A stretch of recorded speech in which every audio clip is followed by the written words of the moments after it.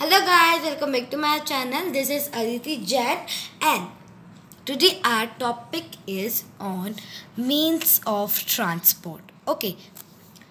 Transport is the one of the important thing in our life. If there was no transport, we cannot travel from one place to another. Okay, what is transport. Let's under let's start this video by the define of transport. Transport means moving of people or goods from one place to another. Now transport is divided into three groups. What are the groups? Let's understand them. First group is land transport. Second is water transport. And third is air transport. First of all, let's understand land transport. Land transport is the transport or the movement of people, animal and goods from one place to another on land.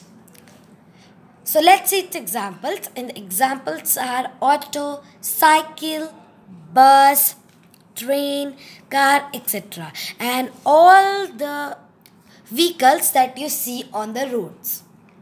Let's see the water transport. Okay, now water transport.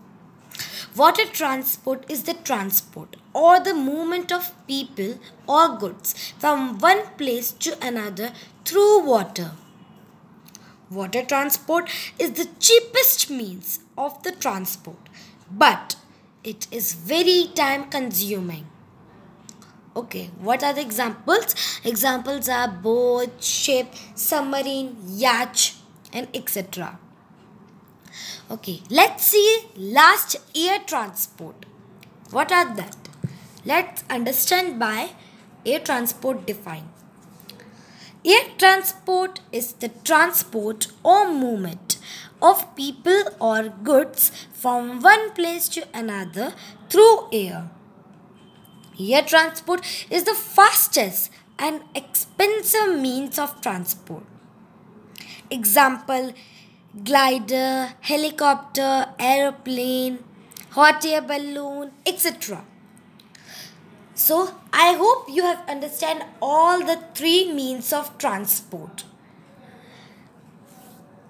And these are the only transport that I think you have traveled one time in your life. Okay, thank you friends for watching my video and don't forget to like, subscribe and share it. Bye. Have a nice day. Thank you.